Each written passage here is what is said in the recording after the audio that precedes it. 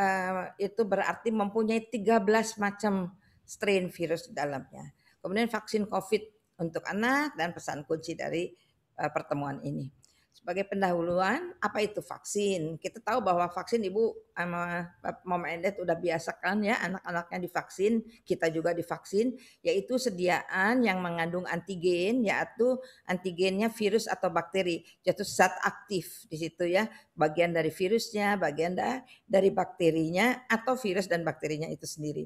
Sedangkan vaksinasi itu tindakan memasukkan vaksin ke dalam tubuh.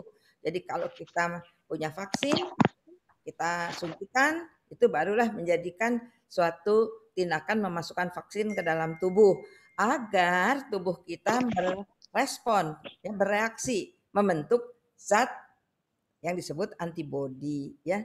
Nah, itu adalah vaksinasi. Kalau imunisasi adalah proses seseorang menjadi imun setelah dilakukan vaksinasi. Jadi di dalam tubuh kita vaksin dimasukkan, dia aja berproses, itu sel-sel memori, pabriknya, pabrik vaksinnya. Kemudian juga akan diproduksi antibodinya. Itu yang disebut imunisasi, vaksinasi dan vaksin. Kadang-kadang orang tertukar-tukar vaksinasi dengan imunisasi nggak apa-apa itu kurang lebih sama saja merupakan hasil dari suatu uh, tindakan uh, adanya vaksin ya. Itu vaksin itu khusus. Kalau vaksin untuk TBC yaitu BCG untuk TBC penyakit saja. Vaksin untuk influenza khusus influenza. Untuk Streptococcus pneumonia ini vaksin PCV ini khusus untuk Streptococcus pneumonia. Nanti begitu pun vaksin COVID hanya untuk COVID saja ya. Ini adalah penyakit-penyakit yang dapat dicegah dengan imunisasi. Kita tahu hepatitis B ya, penyakit liver nanti ya. Kalau uh, kena pada waktu anak-anak pada dewasanya bisa sirosis atau uh, eh, CA hepar. Polio, polio ada dua, yang oral yang diminum dan polio suntik. Ya, uh, inactivated polio vaksin ini disuntik, kalau yang diminum itu yang vaksinnya hidup, ya, uh, virusnya hidup. Ya, kemudian ini untuk polio ya. Kemudian BCG untuk mencegah TBC, kemudian MR. Dulu kita cuma tahu campak aja, sekarang campak rubella. Karena di campak itu khusus untuk anak-anaknya bisa menyebabkan sakit yang berat. Rubella itu penyakitnya pada anak tidak berat, tapi kalau kena ibu, ibunya hamil melahirkan anaknya bisa terkena congenital rubella syndrome. Kenapa kalau congenital rubella syndrome? Oh dia bisa buta, dia bisa sakit jantung, bisa tidak dengar tuli ya. Kemudian HIV, Haemophilus influenza tipe B. Ini juga kuman sama dengan pneumococcus suka menyebabkan penyakit pada paru-paru dan otak ya. Itu sudah ada. Di sini kita lihat bahwa HIV itu adanya di pentavalen jadi di hexavalen jadi di vaksin kombinasi dengan DTP yang 6 yang 5 itu ada HIV-nya DTP sebenarnya difteri tetanus pertusis batuk kerjaan difteri tetanus dan batuk kerjaan atau pertusis ya kemudian PCV yang sekarang pneumococcal conjugate vaccine ya yang isinya 13 Kemudian GE ada Japanese encephalitis. Ini adalah penyakit untuk radang uh, otak. Ini um, imunisasi baru diberikan di Bali di mana di daerah situ banyak terjadi penyakit ini. PCV juga tadi seperti Ibu Atalia bilang baru dilaksanakan di Mataram, Lombok ya. Kemudian di Bangka Belitung dan tahun 2021 ini akan dilakukan di Jawa Barat, Jawa Timur dan beberapa provinsi dan ya, tahun 2022 diharapkan di seluruh Indonesia Pak Menteri maunya tapi kalau enggak 2002 mungkin 2024 ya. Itu kemudian HPV HPV adalah human papilloma uh, virus yang yang disebut human papilloma vaksin. Jadi vaksin untuk mencegah CA cervix diberikan pada anak sekolah umur uh, kelas 5 dan kelas 6 ya ini adalah penyakit yang dapat dicegah di mana kita udah punya penyakit eh udah punya vaksin ini semua. Ibu kalau bisa dihitung coba kita lihat mudah-mudahan sudah diberikan pada putra-putrinya eh, sesuai dengan umurnya ya. Ini lihat penyakit-penyakit yang dapat dicegah dengan imunisasi. Ini penyakit TBC itu bukan hanya paru-paru, di sini TBC-nya pada tulang belakang, jadi tulangnya jadi bengkok ya. Kemudian ini pneumonia yang tadi pneumonia pada paru-paru, radang paru-paru, paru-parunya jadi putih ya. di sini. Kemudian ini pada penyakit polio ya, dia tidak bisa jalan pakai ini beris ini kakinya ya. Kemudian hepatitis B dia menjadi kuning ya, badannya semua kuning. Ini apa? Ini difteria. Jadi di sini ada bercak abu-abu, putih abu-abu ini kalau ditarik dia berdarah. Kalau ini terus membesar, lehernya menjadi besar, dia tersumbat, dia tidak bisa nafas dan meninggal ya. Atau dibolongin lehernya. Ini pertusis batuk rejan, batuk 100 hari sampai bisa perdarahan di matanya di sini. Ya, yang ini yang disebut eh, Japanese encephalitis itu adalah radang otak ya di sini kita lihat ini dia oleh nyamuk juga nih ditularkannya ya. Nah, ini kanker serviks. Memang dia sakit kankernya kapan mungkin nanti waktu dia udah umur 30, 40, 50, 60 tahun, tapi imunisasinya harus dari sekarang karena infeksinya bisa terjadi terus-menerus tanpa terasa sehingga tidak bisa lagi divaksin. Vaksinnya diberikan sesegera mungkin sebelum uh, terjadi satu uh, hubungan seksual di sini. Makanya diberikan umur lim, uh, kelas 5 dan kelas 6. Kemudian yang tetanus, ini kaku semua mulut nggak bisa dibuka. Itu yang pada bayi atau pada yang besar juga bisa. Ya kalau ketusuk apa uh, paku misalnya di jalanan. Misal rubella ini campak merah-merah semua keluar sering sekali di orang bilang gabagen. Nah ini yang sering terjadi. Rubella juga mirip cuman tidak separah ini biasanya. Ini semua dapat dicegah oleh imunisasi. Mendingan diimunisasi Bu daripada mendapatkan penyakit ini kan. Ibu setuju ya Bapak Ibu sekalian. Kemudian ini kematian. Saya ingin menunjukkan betapa kalau kita tidak mengikuti imunisasi itu anak tidak punya kekebalan ya eh, kemudian di sekelilingnya ada infeksi terjadi penyakit nah kita lihat bisa sampai meninggal ya. Kematian akibat penyakit yang dapat dicegah oleh vaksin pada anak-anak di dunia. Ini di dunia sama ya di mana-mana. Ini kematiannya eh, diakibatkan oleh pneumococcus. Nah ini yang sekarang kita akan bicarakan paling banyak ya. Rotavirus. Rotavirus di kita belum tapi ke depan akan diberikan pada bayi-bayi kecil ya. Rotavirus itu uh, mencret ya pada bayi-bayi kecil. Uh, eh, HIV tadi uh, sudah 58 ribu. Pertusis batuk rejan juga. Batuk rejan itu pada dewasa dan uh, remaja juga sering terjadi. Measles atau campak ya 62 ribu.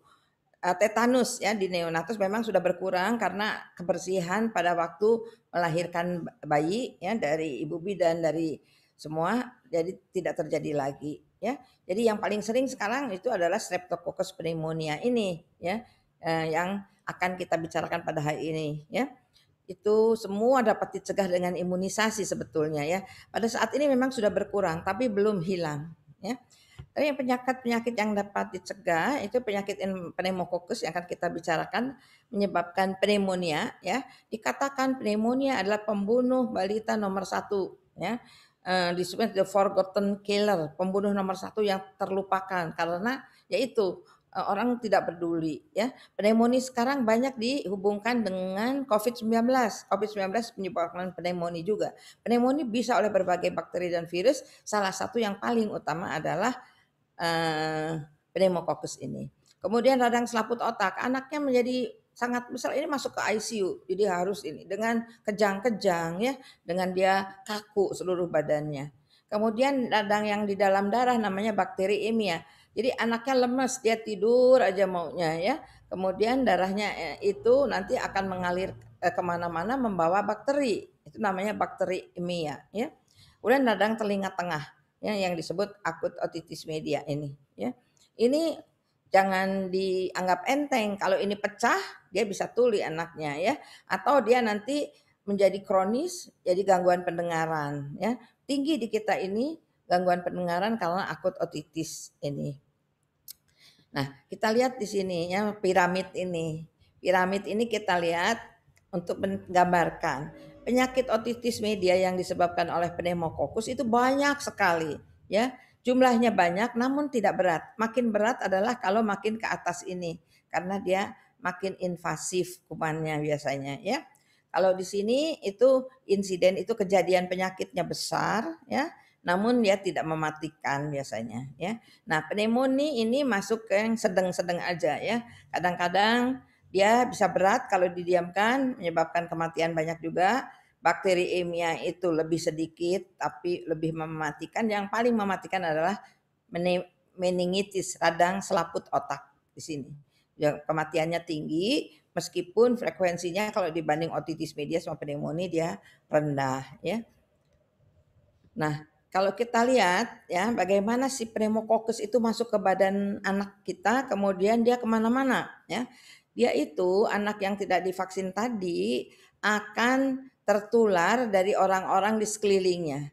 Kemudian si bakteri, si bakteri Streptococcus pneumonia atau namanya pneumococcus sama banyaknya akan masuk pada waktu si anak itu menghirup udara seperti COVID sama masuk ke sini terus diam di nasofaring di belakang tenggorokan ini. Kalau ke daya tahan tubuh anak ini baik, dia diam aja di sini, memperbanyak diri, dia diam. Suatu waktu kalau daya tahan tubuhnya jelek, ya anaknya tidak fit, tidak sehat, nah barulah dia berkembang ke mana-mana. Masuk ke darah, bakteri emia, masuk ke otak, saluran uh, selaput otak jadi meningitis, masuk ke telinga di sini menjadi otitis media, kemudian masuk ke pneumonia. Nah, tapi si kuman itu juga kadang-kadang dia tidak diem di sini, tapi dia terus ke bawah. Dia ikut di saluran nafas menyebabkan pneumonia juga. Jadi kalau pneumonia itu bisa lewat darah, bisa juga lewat langsung di sini, ya. Jadi kalau dia batuk, pilek, terus dia sesek, nah ini biasanya yang langsung lewat sini, ya. Itu adalah pneumonia. Nah, kita bicarakan sekarang mengenai yang pertama, otitis media akut. Otitis media adalah peradangan yang terjadi pada telinga bagian tengah.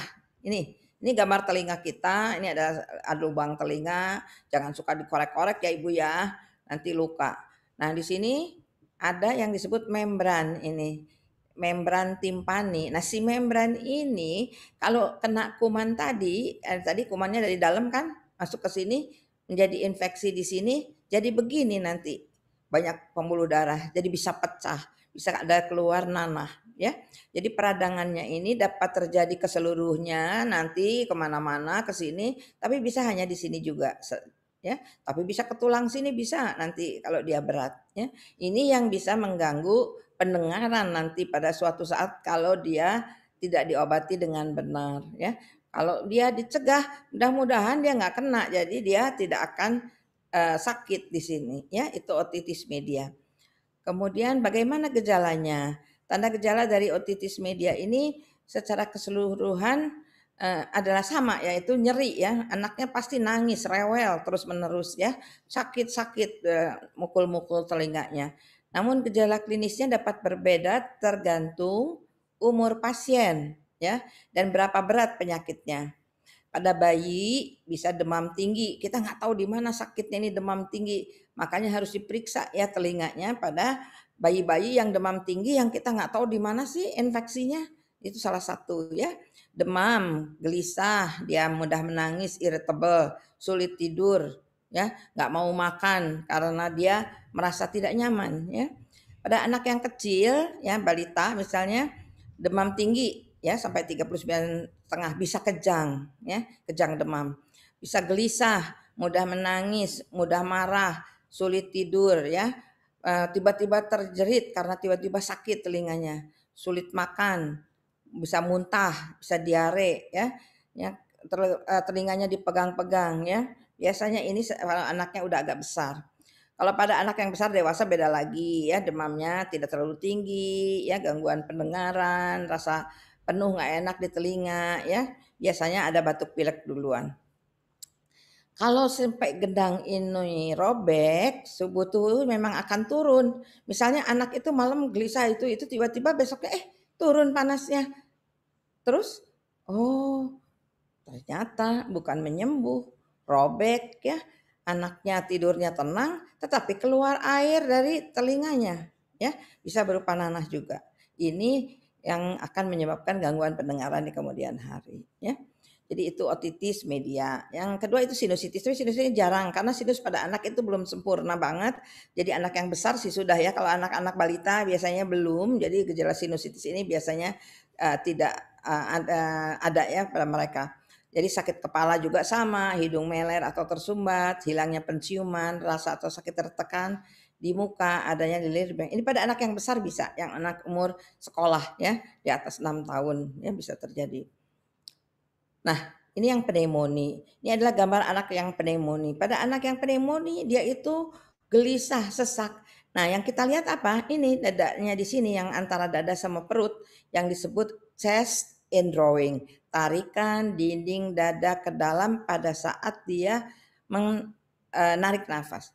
Pada saat narik nafas harusnya dada ini mengembang, tapi dia karena ada paru-paru yang sakit, dia tidak mengembang malah ketarik. Jadi ininya nanti kelihatan garis-garis di sininya, ya. Terus hidungnya uh, kembang kempis, ya. Nafasnya cepat, dia pengen banyak oksigen, nafasnya jadi cepat, hidungnya jadi kembang kempis, ya. Dia rewel, dia nangis, ya. Itu yang terjadi. Jadi pneumonia, apakah pneumonia? Pneumonia adalah infeksi paru-paru yang disebabkan oleh berbagai mikroorganisme antara lain bakteri, virus, oleh jamur bisa. Ini paru-paru yang sehat begini ya. Dari luar ini begini, tapi kalau dia sakit, dia yang ada alveoli namanya di ujung-ujung sini tuh ada eh, gelembung-gelembung ini yang terjadi pertukaran udara karena radang dia bengkak, kemudian dia mengandung sel-sel radang dan juga eh, apa namanya eh, sisa-sisa jaringan yang mati, menyebabkan tidak bisa terjadi pertukaran udara. Nah, itulah yang menyebabkan dia sesek karena udaranya tidak bisa dapat yang baru kita, ya oksigennya. Ya. Dia masuk masuk sampai sini, dia macet di sini, ya. Pneumonia itu bisa menular tadi melalui udara yang saya katakan ya kemudian ada orang yang batuk bersin yang menularkan kumannya ya, kemudian juga dengan uh, benda-benda pribadi yang lain ya, bisa anak-anak kan suka diciumin, suka di uh, apa namanya dijilat-jilat ya itu ya. Jadi ini yang harus dicegah juga. Apa yang terjadi di paru-parunya? Di paru-parunya banyak infiltrat kita dibilang. Infiltrat itu bercak-bercak di sini banyak sehingga paru-paru yang ada bercaknya nggak bisa menukar udaranya dan itu yang menyebabkan dia menjadi sesak. Kadang-kadang kalau penuh seperti pada COVID itu bisa putih di sini ya. Dia udah nggak bisa napas lagi, saturasi oksigennya menurun. Jadi itu menandakan tidak terjadi pertukaran udara bersih dengan udara yang kotor yang ada di dalam. Ini saluran nafas ya kita lihat ini paru-parunya. Nah ini yang disebut alveoli alveoli ini di sini terjadi pertukaran gas yang bisa uh, menyebabkan dia penurunan saturasi oksigen. Zaman COVID mungkin Bapak Ibu tahu, oh pakai saturasi oksigen, pakai ada alat kecil yang menilai berapa besar adanya oksigen di dalam darahnya. Apa gejala pneumonia? Nah ini gejalanya gambar-gambarnya ya headache ya, sakit kepala ya, kemudian kaku di lehernya tapi tidak bukan kaku kuduk kayak radang uh, selaput otak ya, uh, demam dan rasa dingin gitu ya kemudian dia bingung ya, dia tidak tidak nyaman ya. Kemudian susah bernafas tadi karena oksigennya tidak bisa bertukar sehingga tidak bisa terjadi pernafasan yang normal di sini menjadi cepat nafasnya. Kemudian sensitif ya dia terhadap segala macam, pokoknya nggak enak badannya. Kemudian sakit telinga bisa disertai dengan sakit telinga bisa batuk tentu saja banyak batuknya. Kemudian nyeri dada kemudian sakit tenggorokan. Ya ini semua adalah gejala-gejala yang dari pneumonia yang tingkatnya bisa ringan, bisa sedang, bisa berat, bisa sangat berat yang disebut mengancam jiwa, ya. Inilah yang harus kita cegah tentunya. Kalau udah sampai begini yang gambar ini wah udah sulit ya eh, angka kematiannya menjadi tinggi ya. Itu yang disebut pneumonia. Kemudian yang selanjutnya adalah bakterimia ya adalah kondisi ketika terdapat bakteri di dalam aliran darah. Jadi biasanya bakteri eh darah itu kan biasanya bersih ya, steril. Tapi kalau kuman tadi masuk menyusup ke dalam, dia itu masuk dari luar ke dalam aliran darah di tenggorokan tadi. Keberadaan bakteri di dalam aliran darah itu memang tidak selalu berbahaya ya kalau yang ringan-ringan aja nggak apa-apa tapi jika tidak ditangani dengan tepat bakteri terus berkembang berkembang biak di dalam pembuluh darah, kondisi untuk menimbulkan komplikasi serius tentunya. Tapi anak di sini cuma tidur aja lemes dia ya. Gejalanya bisa menyebabkan gejala yang beragam, mulai dari ringan, eh, bisa hanya demam saja, ya bisa sembuh dengan sendirinya. Hingga sepsis. Sepsis itu bentuk bakterimia yang berat di mana sudah ada gangguan di organ-organ di mana si bakteri itu dibawa oleh aliran darah. Gejalanya kalau dari mulai demam, menggigil tadi ya, berdebar-debar, tekan darah menjadi rendah, nafas menjadi cepat. Ini kalau menjadi berat ya, tentu menjadi sepsis tadi ya. Rasa nggak enak, pusing, pusing ya Anak-anak selain gejala ini sering kali juga menyebabkan anak menjadi rewel, lemas, tidak aktif dan sulit makan. Ya dia maunya tidur aja, ya. Demam maunya tidur aja. Kemudian eh, yang selanjutnya meningitis. Meningitis bakterialis adalah meningit eh, radang selaput otak yang disebabkan oleh bakteri. Nah, apa saja penyebab bakteri yang paling sering? Tadi Haemophilus influenza. Ini udah ada di dalam TP, HIV, hepatitis B, uh, polio suntik, ya ini semua udah ada. Pneumococcus itu bakteri yang kedua yang sering juga. Kemudian meningococcus dan patogen yang lain. Jadi banyak bakteri-bakteri yang bisa menyebabkan uh, radang otak ini ya, radang selaput otak. Uh, kemudian yang paling tidak diinginkan kalau dia tidak meninggal, anak-anak dengan meningitis itu sering meninggalkan sequelae gejala sisa. Ya, contohnya adalah apa? Hilang pendengaran, dia menjadi tuli, dia kejang-kejang, defisit motorik, jadi gangguan motorik, kerusakan kognitif ya, jadi gangguan pertumbuhan dan perkembangan nantinya, hidrosefalus, tekanan di kepalanya tinggi, gangguan mata, penglihatan ya. Jadi kita lihat di sini apa saja gejalanya dari pneumococcal meningitis. Jadi meningitis tadi ada macam-macam, tapi yang disebabkan khusus oleh pneumococcus. Pneumococcal meningitis penyakit yang berat dan mengancam jiwa. Infeksi terjadi pada selaput otak ya.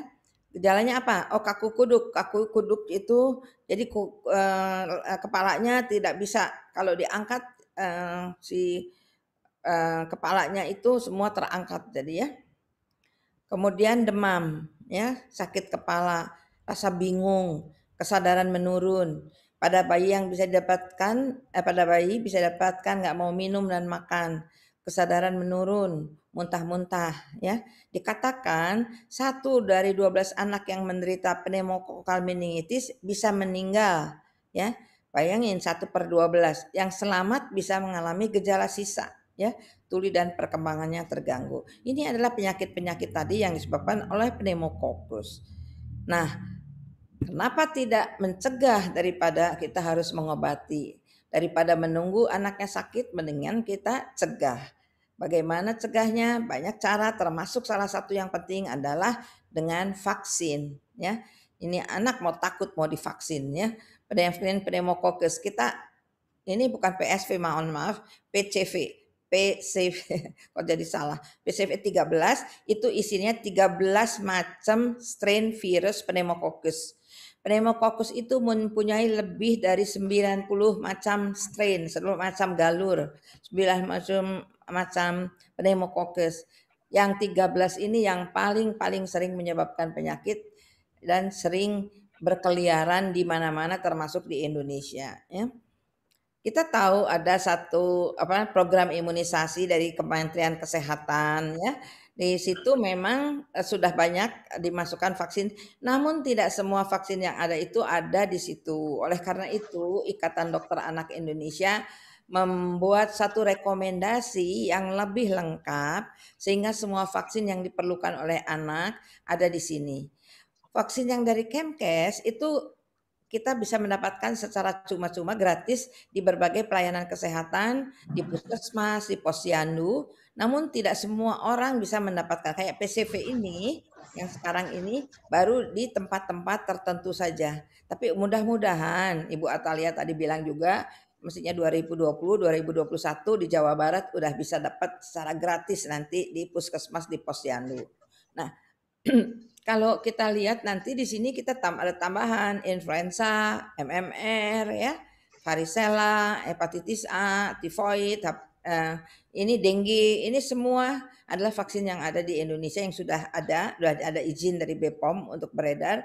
Tinggal nanti eh, dokter-dokter yang akan memberikan saran kepada Bapak Ibu sekalian vaksin yang mana yang akan di berikan uh, mulai kepada anak-anak. Kalau yang dari Kemkes itu harus semua sudah ya, diberikan sebelum umur 2 tahun. Nah, yang lain ini sebagai tambahan pilihan karena disebut pilihan karena dia harus mengeluarkan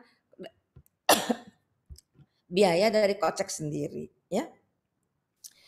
Jadi ini bukan untuk ibu bapak, ini untuk dokternya nanti ya yang akan pakai.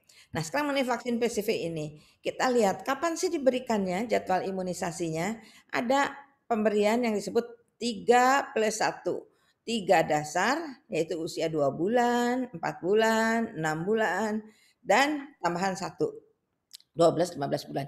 Ini adalah untuk pemberian vaksin individu ya untuk kita yang masing-masing Nanti di dalam program itu enggak 3 plus 1 tapi 2 plus 1. Karena memang 2 plus 1 itu kalau se sebagian besar dari eh, populasi itu disuntik. Tapi kalau sendiri-sendiri disuntik harus 3 plus 1 karena nanti daya tahannya tidak cukup.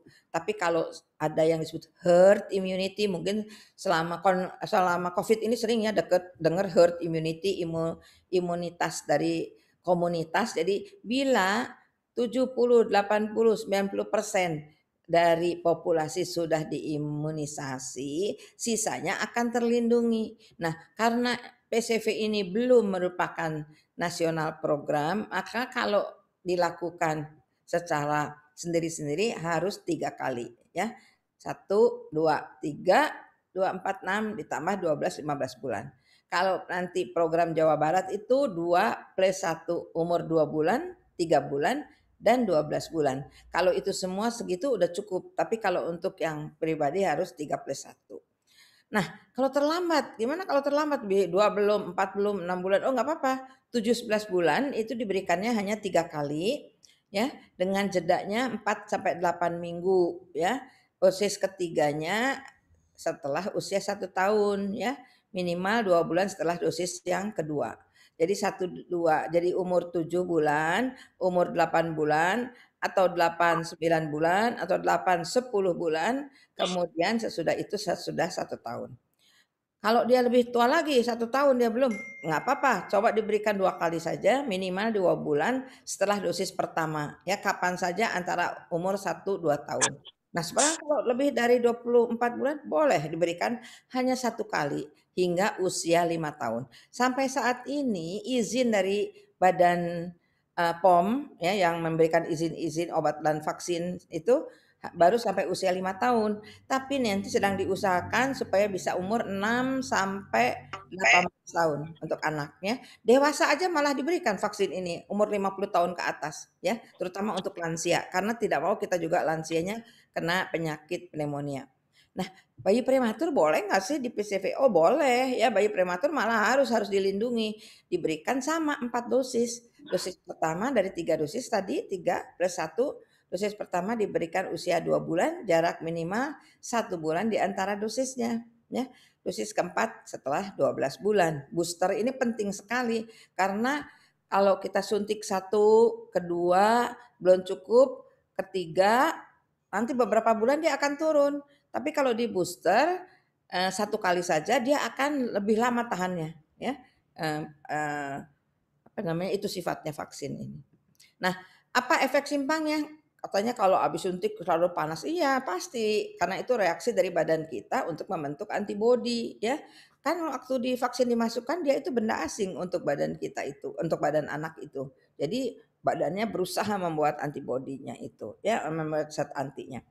Jadi reaksinya bisa reaksi di tempat suntikan, merah, bengkak, sakit, ya paling satu dua hari. Kalau panasnya terlalu tinggi mengganggu anaknya uh, kesakitan sangat berat, boleh dikasihkan obat anti sakit. Atau uh, kalau dia demam, boleh diberikan obat demam. Tapi jangan memberikan obat demam sebelum diberikan imunisasi. Nanti imunisasinya malah nggak jalan karena obat demamnya itu bisa menekan proses Eh, imunitas. Jadi nanti kalau udah perlu demam 4-5 jam kemudian dia demam baru diberikan. Rewel ya kalau rewelnya sedikit mah biar aja lah ya nggak apa-apa. Nafsu makan menurun, banyak tidur atau som, jadi tidur kurang. Ini adalah gejala-gejala yang ringan biasanya dan hilang dalam 1 2 3 hari ya tanpa pengobatan. Nah, pada waktu zaman begini kita bisa melakukan imunisasi dalam waktu bersamaan imunisasi ganda multiple ya dilakukannya bersama-sama ya PCV ini dengan vaksin lain. Misalnya waktu DTP kita uh, waktu pentabio ya atau hexa kita berikan juga PCV boleh ya dengan berbagai apa vaksin yang lain dengan polio dengan hepatitis. Kalau di kita belum diberikan meningococcus karena di kita nggak ada penyakitnya jadi belum masuk uh, terus MR, MMR, MMRV, nanti ada lagi ya. Itu semua bisa diberikan bersama-sama. Gimana memberikannya? Kalau pada bayi tentu di paha kiri, paha kanan. Ditetes di mulut ya, itu nggak apa-apa bersamaan ya. Kemudian uh, itu tidak akan menyebabkan bahaya, tidak juga berat untuk bayinya sekaligus masuk apa uh, uh, vaksin bersama-sama itu nggak apa-apa, tapi lebih cepat juga lebih baik ya. Karena dengan apalagi pada zaman COVID pandemi begini kita keluar berkali-kali, misalnya sekarang untuk DTP nanti datang bu sebulan lagi untuk PCV, oh enggak lah. Jadi DPT sama PCV datang baru dua bulan lagi ya. Itu yang bisa dilakukan untuk imunisasi ganda ini. Uh, sekarang mengenai sedikit vaksin COVID. Vaksin COVID itu yang sekarang ada adalah baru diberikan pada orang dewasa. Ya, vaksin COVID-19 itu pada anak itu penelitiannya harus lebih lebih jauh uh, lebih dalam ya. Kalau pada dewasa penelitian pada binatang ya pada klinis kemudian fase 1, fase 2, fase 3 udah diberikan uh, bagus diberikan izin. Tapi kalau pada anak nggak boleh ya. Dari dewasa dulu 8 15 tahun, kemudian nanti lansia ikut di situ Sesudah itu di remaja dulu 12 sampai 17 tahun, kemudian di anak yang besar biasanya 6 12 tahun dulu, ah, tapi sekarang bisa 2 sampai 12 tahun, kemudian 6 sampai 24 bulan pada yang bayi-bayi kecil, ya. Nah, pada saat ini vaksin sangat terbatas, belum diberikan kepada anak dan penelitian pada anak juga belum ada, ya. Jadi masih pada orang-orang yang uh, dewasa secara bertahap, ya. Apakah vaksin COVID untuk anak dan orang dewasa berbeda? Tidak ya, komposisi vaksinnya adalah sama. Dosisnya mungkin nanti yang berbeda, pemberiannya, cara pemberiannya. Remaja mempunyai dosis yang sama dengan dewasa, makanya di Amerika umur 12 sampai 17 tahun sudah diberikan vaksin COVID ya. 19 eh, ya untuk vaksin Pfizer yang diberikan di sana ya. Pada anak mungkin dosisnya lebih kecil, makanya harus dicobain dulu. Nah, dicoba dulu dengan dosis seperempat dosis ya. Apakah nanti seperempat cukup atau seperempat itu harus dinaikkan jadi setengah dosis itu harus dilakukan penelitian. Nah, sekarang sedang dilakukan penelitian pada anak dua bulan sampai eh 6 bulan sampai 11 tahun ya sedang mulai di Amerika. Nah, vaksin Sinovac gimana? Vaksin Sinovac juga sudah melakukan penelitian pada anak namun belum ada hasilnya. Dari anak umur 3 sampai 17 tahun. Mudah-mudahan karena kita pakainya vaksin Sinovac, ke depan pun kalau vaksinnya cukup banyak, penelitian sudah ada, kita juga perlu memberikan pada anak yaitu supaya dia juga uh, tidak tertular dan dia juga tidak menularkan ya dari penyakit tersebut. Namun uh, dosis dosis ini juga tidak tergantung itu tergantung dari vaksinnya apa ya. Vaksinnya yang ini kita lihat bahwa uh, tadi bahwa anak bisa membantu mencegah herd immunity Kayak sekarang banyak orang dewasa yang enggak mau divaksin, nggak akan tercapai herd immunity-nya ya. Herd immunity itu nanti tergantung penyakitnya. Kalau COVID itu mencapai 70 persen, 60 70. Sekarang mungkin 70 80 karena banyak varian baru ya. Uh, kemudian kalau herd immunity pada cat, campak itu mencapai 95% karena satu orang menularkan ke 18, 15 sampai 18 orang. Kalau COVID itu diduga pada awalnya satu hanya ke dua setengah tiga orang. Ya, makanya 60-70% herd immunity cukup. Tapi kalau orang dewasa nggak mau, ya udah anaknya aja yang disuntik biar herd immunity-nya bisa cepat tercapai. Ya, pertama harus lakukan uji klinis pada anak yang lebih tua tadi udah. Terus dengan memberikan vaksin pada anak yang tidak hanya bermanfaat untuk anak itu tapi juga untuk melindungi mereka yang berada di sekitarnya ya guru, orang tua, kakek dan nenek. Nah, pada pada vaksin PCV 13 ini terbukti kalau anaknya diberikan, maka di situ nenek, kakeknya semua uh, saudaranya itu bisa ikut terproteksi karena biasanya yang membawa uh, uh, vaksin apa membawa virus di tenggorokan itu adalah anak-anak yang kecil yang di bawah lima tahun ya. Kemudian apakah sudah ada tadi sudah ada di Amerika tapi di sini belum ada. Kemudian baru satu macam yang dapat izin tapi sebentar lagi ada dua lagi katanya akan dapat izin di sana. Di uh, dunia itu penelitiannya 6 bulan 11 tahun oleh dua macam uh, pabrik ini dengan basic mRNA uh, untuk tiga tahun sampai 17 tahun itu dengan inactivated yaitu Sinovac dan Sinovac. Ini yang dua yang dipakai di Indonesia saat ini ya. Jadi di Indonesia belum masuk ya. Nah, sebagai pesan kunci, vaksin merupakan salah yang paling cost efektif. Jadi paling menguntungkan untuk mencegah kesakitan dan kematian karena penyakit yang dapat dicegah dengan imunisasi. Kuman Streptococcus pneumonia atau pneumococcus dapat menyebabkan penyakit pada anak seperti akut otitis media, pneumonia, bakterimia, meningitis yang bisa menyebabkan sakit yang berat, anak harus dirawat, meninggal atau menimbulkan gejala sisa. Imunisasi untuk mencegah infeksi pneumokokus sudah tersedia ya. Udah lama, udah dari tahun 2010. Eh, 2006 malahan ya. Eh, kalau PCV 13 itu 2010, sebelumnya PCV 7 ya. PCV 13 sudah direkomendasikan untuk anak dan akan mulai di Indonesia untuk seluruh anak bayi itu nanti tahun 2022 atau 2024 ya. Imunisasi COVID-19 untuk anak itu sedang dalam pengembangan. Demikian, terima kasih. Wassalamualaikum warahmatullahi wabarakatuh. Waalaikumsalam warahmatullahi wabarakatuh. Prof, terima kasih banyak. Boleh kita berikan tepuk tangan virtual ya? Aduh, gimana ya caranya kalau ketemu langsung kedengaran riuh ya Prof ya? Kalau konser itu kan, waduh, tepuk tangan mom and dad-nya, ayah bundanya pasti akan sangat uh, appreciate sekali. Kami berikan penghormatan yang tertinggi kepada Prof Sisi untuk ilmu yang telah diberikan. Semoga ilmu yang telah diberikan bermanfaat untuk kita semua, menjadi berkah untuk Prof yang memberikan, diberikan kesehatan, menjadi amal ibadah untuk Prof nanti dan yang paling jelas ini bisa di uh, terap apa dipraktekkan oleh uh, mom and dad di rumah. Ini sebelum uh, ayah bunda mau mandat bertanya, uh, boleh nggak kalau saya bertanya dan izin dulu, Prof? Karena slide tadi tuh banyak yang menarik kayak jadwal vaksin, mungkin tadi uh, ada yang gangguan penglihatan seperti saya ya agak minus matanya.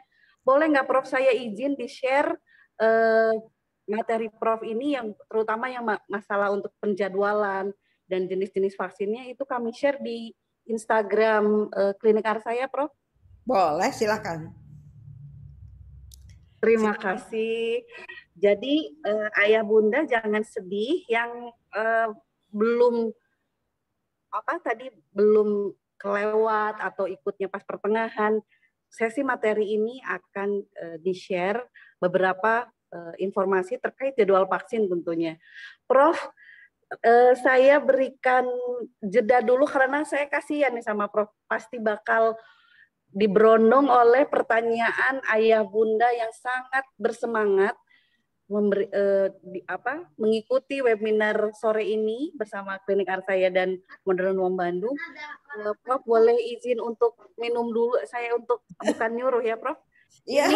Kayaknya bakal betul Prof. Betul Prof. Kalau event offline mungkin ada LO-nya Prof, ada license officer-nya yang nyuguhin minum. Saya persilakan dulu Prof, pilih badai. Kalau pinjam ini kamu nggak, aduh sih. Boleh sebentar aja. Ini si Ivon ada Zoom buat tentang anak-anak vaksin COVID. Iya. Momen Ded, mari kita buka pertanyaan yang sudah dan Nadine siap-siap nih Teh dari teman-teman Modern Mom Bandung juga mungkin salah satunya yang bertanya di sesi webinar kali ini yang telah diberikan oleh Prof Sisi tadi materi mengenai uh, mengenal semua jenis vaksin tentunya yang saat ini sedang uh, tren atau memang uh, pengidapnya banyak sekali itu adalah vaksin yang berkaitan dengan saluran pernafasan pada anak. Saya akan mulai Prof. Ini ada pertanyaan dari Bunda Dida dan sama juga pertanyaannya dengan Bunda Siti Aminah. Menanyakan Prof jika ada jadwal vaksin yang sudah tertinggal, itu sebaiknya dilakukan uh, opsi apa agar uh, anaknya atau adik kesayangannya tidak ketinggalan atau tidak kehilangan jadwal vaksinnya. Bahkan ini ada yang sudah berusia 11 tahun, tapi hanya dilakukan vaksin wajib karena ada vaksin wajib dan non wajib gitu ya yang dikenal sama ayah bunda ini. Jadi gimana nih Prof? Adakah eh, apa opsi-opsi untuk mengejar beberapa vaksin yang belum diberikan? Jika bisa, apa saja yang bisa dikejar yang istilahnya diprioritaskan? Nah, terima kasih Mbak Wulan ya. Jadi untuk Ibu Dida sama Ibu Aminah, Siti Aminah, nggak usah takut. Ada yang disebut kejar imuni, imunisasi kejar, catch up immunization namanya. Itu udah dikenal di itu udah banyak kok. Kita pikir juga pasti ada ibu-ibu bapak-bapak yang kelupaan atau ketinggalan. Itu yang disebut imunisasi kejar. Apa itu imunisasi kejar? Imunisasi yang ketinggalan yang harus diberikan sesegera mungkin di mana bisa. Ya, katakanlah tadi udah 11 tahun boleh nggak apa-apa 11 tahun nanti kita pilih yang mana yang uh, bisa diberikan ya. Misalnya imunisasi kejar itu uh, harus dilakukan.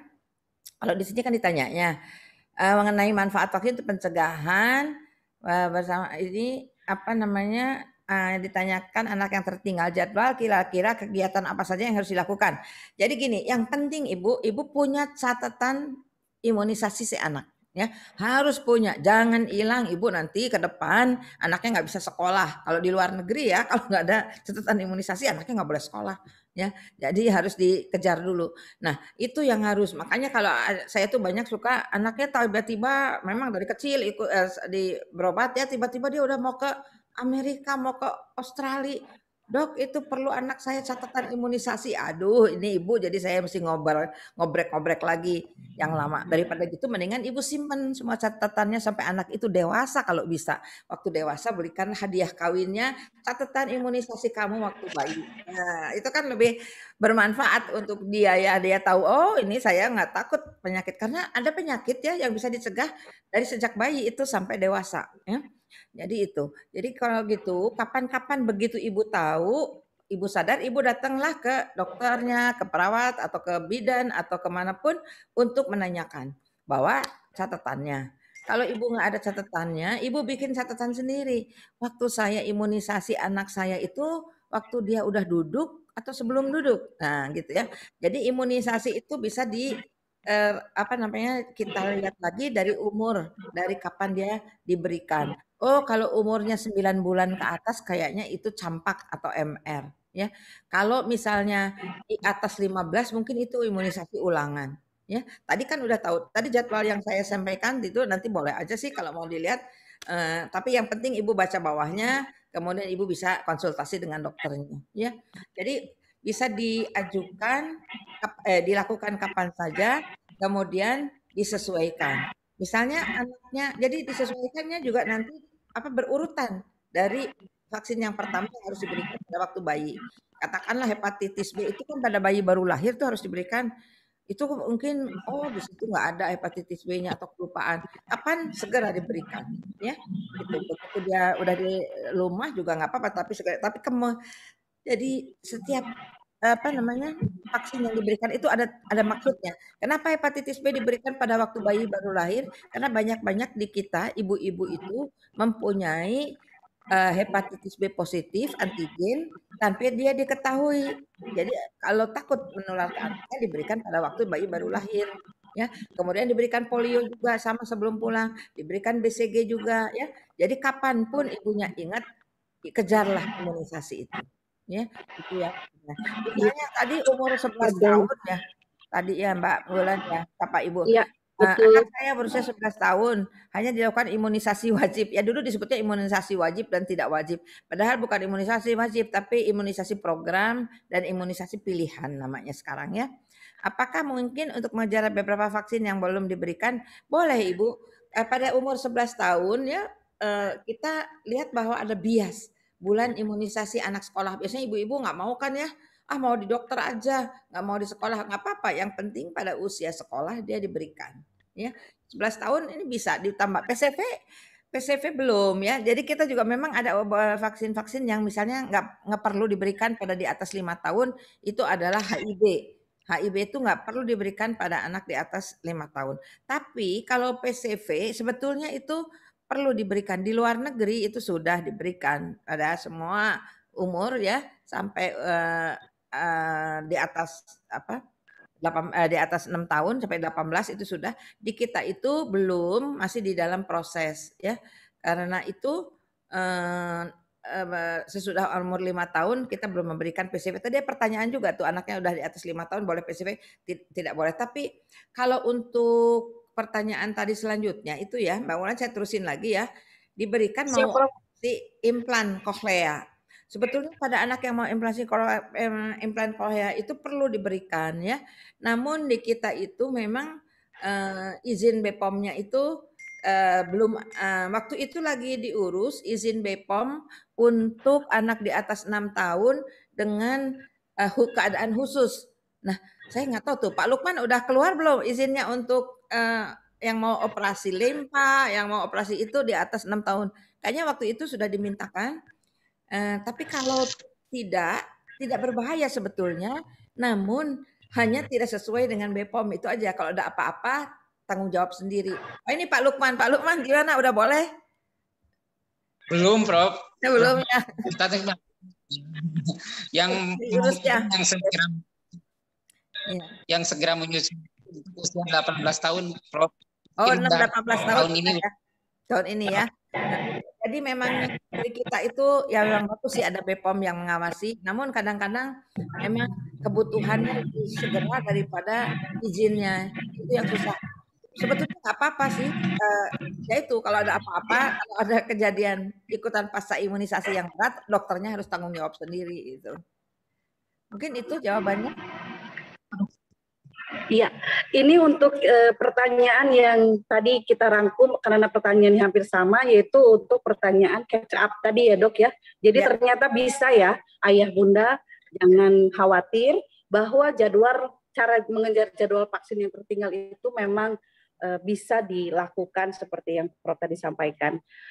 Berlanjut ke pertanyaan berikutnya, Prof, karena uh, semua penyakit, hampir semua penyakit yang ada vaksinnya ini, Prof bahas tadi di materi. Ada beberapa vaksin yang uh, tentang polio, IPV, BCG, oh, iya, iya. MR, PCP, influenza, JE, dan HIV.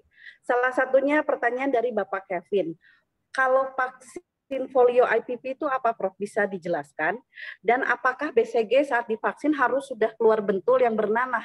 Kalau tidak, apakah mesti divaksin ulang atau seperti dimantuk gitu Prof? Terus ada anak yang sudah divaksin campak usia 9 bulan, kenapa bisa dua kali timbul lagi bintik-bintik dan bagaimana pencegahannya? Apakah ya. apakah anak sudah divaksin? Ya, mungkin tiga dulu ya, Prof ya. Tiga dulu ya, Pak Kevin. Wah, ini, ya, mau, ini date-nya date yang modern yang istimewa nih ya. Uh, ikut ik, apa bisa ikut uh, menanyakan. Jadi belum pernah tahu IPV. IPV adalah inactivated polio vaccine. IPV itu di Indonesia baru diberikan mulai satu atau dua tahun ini. Karena apa? Karena IPV itu yang isinya adalah vaksin yang uh, yang mati ya. OPV oral polio vaksin itu vaksinnya isinya uh, polio-polio yang hidup. Apakah kerugiannya? Nah dia bisa, dia kan vaksin sebetulnya dia tidak aktif, sudah dimatikan. Tapi sesudah masuk ke dalam tubuh, dia itu ternyata bisa berkembang menjadi seperti vaksin liar, ya menyebabkan uh, penyakit polio. Nah itu yang terjadi di berbagai negara sehingga diputuskan WHO sekarang kita harus ganti dengan uh, eh, IPV ini ya IPV. IPV ini isinya vaksin yang mati dan komplit. Ada polio 1, polio 2, polio 3. Kalau OPV hanya polio 1 dan polio 3. Nah, supaya kita mendapat kekebalan karena kita punya polio 1 2 3 masih oral kita itu karena mahal, IPV itu mahal ya. Kalau polio oral itu lebih murah. Jadi pemerintah pakainya masih yang oral ya. IPV hanya diberikan satu kali saja umur 4 bulan bersekan dengan DTP. Jadi kalau putra bapak ibu udah lima tahun ke atas mungkin belum pernah dapat IPV ini ya. IPV ini dianjurkan diberikan dua kali sebelum umur satu tahun supaya dia tidak tercegah, supaya dia tidak sakit ya itu IPV-nya. Kemudian BCG divaksin nggak usah, BCG itu divaksin kipinya adalah terjadi keluar nanah itu. Itu menandakan adanya reaksi dari uh, yang betul ya. Tapi tidak selalu BCG itu harus keluar uh, nanah kemudian menjadi ada apa namanya bekasnya ya yang disebut scar yang bekas yang seumur hidup. Nah, nggak usah dimantuk lagi kecuali kalau sesudah di BCG dia itu berat badannya tidak naik, batuk berulang yang lama, demam-demam yang lama, ada gejala-gejala ke arah TBC, nah kita baru lakukan itu ya. Nah, kemudian campak 9 bulan. Nah, gini, sekarang banyak banget itu uh, orang yang kertuker-tuker. Pokoknya merah-merah disebut campak, merah-merah disebut campak ya. Jadi biasanya kenapa diberikan 9 bulan? Karena sampai 9 bulan di dalam badan bayi itu sudah punya imunisasi campak dari ibunya yang disebut maternal immunization. Jadi dari ibunya waktu dalam kandungan dikasih bagian uh, untuk mencegah campak.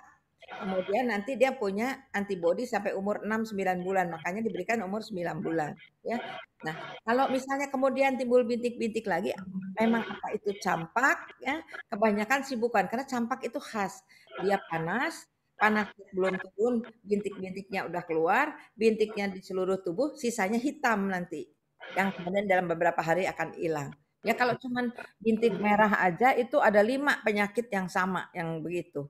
Jadi kemungkinan itu penyakitnya mungkin bukan campak. Ya. Nah, kemudian anak sudah divaksin PCV dan influenza mampu mengatasi COVID-19? Enggak. Kalau PCV untuk PCV, untuk pneumokokus, kalau influenza untuk influenza, mengatasi COVID-19 dengan vaksin COVID-19. Namun, dianjurkan PCV dan influenza diberikan pada saat pandemi ini lebih lebih bermanfaat karena gejala-gejalanya sama. Sehingga kalau dia nanti ada batuk pilek demam, kalau kita baru suntik influenza, oh itu mah mungkin COVID. Tapi kalau belum ini influenza atau COVID kita nggak tahu. Ya. Kemudian PCV juga pneumonia yang terjadi itu karena pneumokokus itu itu juga uh, bisa uh, mengganggu apa ya namanya uh, menyulitkan diagnosis. Apakah itu uh, pneumokokus? Apakah itu covid? Ya tapi bukan untuk covid tapi mencegah pneumonia yang karena pneumokokus. Influenza juga bisa menyebabkan pneumonia jadi memang dianjurkan untuk memberikan PCV dan influenza pada saat pandemi ini tapi bukan untuk mencegahnya ya Apakah GE dan HIV fungsinya sama? Kalau tidak, tidak. Karena kalau GE itu Japanese encephalitis itu karena virus ya eh, yang tidak di semua tempat ada ditularkannya itu melalui gigitan eh, nyamuk, nyamuk gigit binatang yang punya virus itu kemudian dia gigit orang pindahlah JE-nya. Yang paling banyak katanya itu di Bali ya. Kalau mau ke Bali, mau ke daerah-daerah belakangan eh apa pelosok Bali, nah itu memang harus disuntik JE. Tapi kalau hanya di kota satu dua hari sampai seminggu sih nggak apa-apa ya, nggak usah. HIV itu bakteri, bakteri itu ditularkannya melalui saluran pernafasan. Penyakit keduanya yang satu adalah uh, radang otak, kalau HIV radang selaput otak ya. Dan juga radang paru-paru ya. Kalau IgE nggak menyebabkan radang di paru-parunya. Jadi tidak tidak sama. Yang satu virus yang satu bakteri ya. Dan kita tidak masukkan GE itu untuk imunisasi umum. Hanya untuk imunisasi khusus di tempat-tempat di mana GE itu tinggi. Kayak di Bandung itu nggak perlu ya.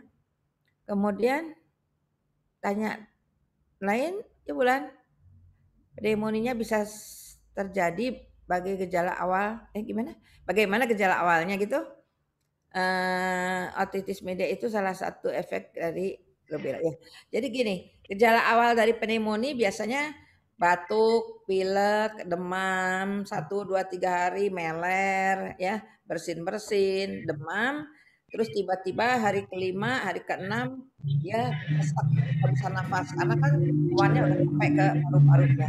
Nah, sudah dia sesek nggak bisa nafas, kemudian nanti uh, keadaannya menjadi bisa menjadi berat seperti uh, bingung nggak sadar begitu ya. Jadi itu adalah gejala utamanya adalah batuk, pilek, demam uh, yang di, uh, kemudian menjadi lebih berat terjadi sesak nafas ya. Otitis media itu salah satu efek Oh, bukan. Otitis media akut itu infeksi karena bakteri tadi bisa HIV bisa menyebabkan tapi yang non typeable ya. Uh, jadi yang sudah tidak ada di vaksinnya. Uh, bisa oleh penyakit uh, berbagai uh, bakteri termasuk pneumococcus itu radang pada uh, telinga tengah ya. Namun kalau rubella itu ke disebabkan karena rube, congenital rubella syndrome pada waktu bukan pada anak yang sudah lahir, pada anak yang masih di dalam kandungan, ibunya terkena rubella ya. Sebagai imbasan dari itu kan dia di dalam perut ibunya dia juga terkena jadinya rubella. Tapi akibatnya itu biasanya pada anak menjadi cacat cacat bawaan disebabkan karena infeksi rubella pada ibunya ya.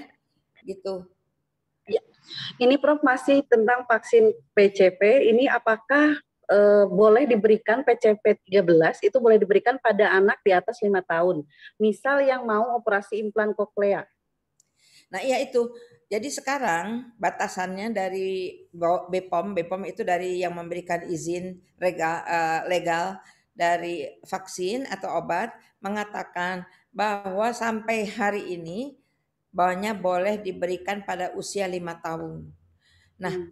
sebetulnya ada satu lagi kalau anaknya di atas dua tahun bisa apa vaksinnya, tapi kebetulan di kita tuh lagi kosong yang disebut namanya PPV 23. Jadi pneumococcus juga isinya 23 strain namun dia yang bentuknya polisakarida.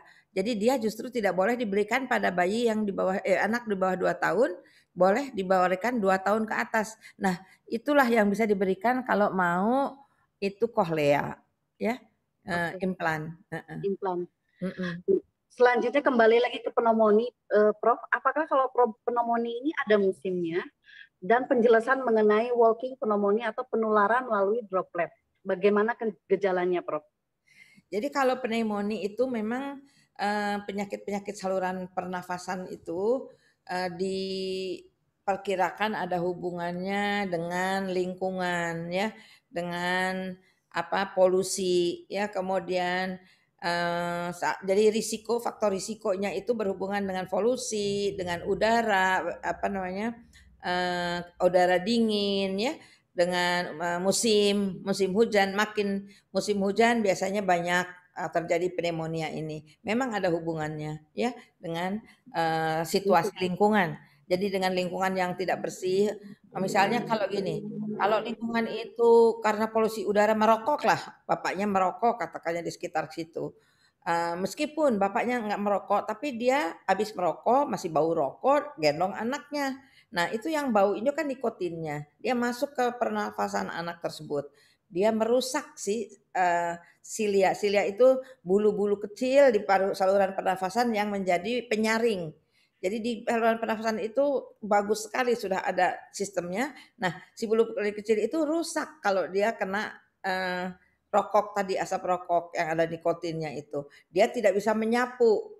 Kalau dia tidak bisa menyapu, kuman, kotoran apa yang masuk ke saluran nafas itu langsung aja bablas masuk ke saluran pernafasan tidak ter uh, tangkap ya.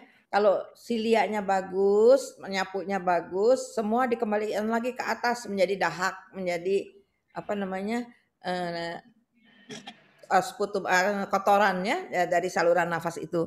Kan kita sering juga kan kalau batuk pilek apa ingusnya banyak, dahaknya juga kan banyak. Nah, itu dahak itu karena uh, badan kita berusaha untuk uh, apa namanya membersihkan terus tapi karena rusak si apa namanya sapunya akhirnya dia tidak berhasil.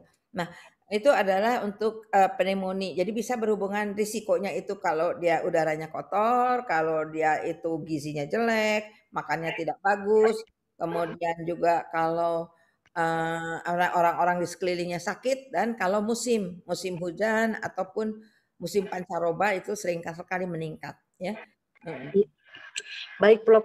Melangkah pada pertanyaan selanjutnya di materi yang tadi Prof eh, di akhir slide bahas adalah tentang vaksin COVID-19 pada anak.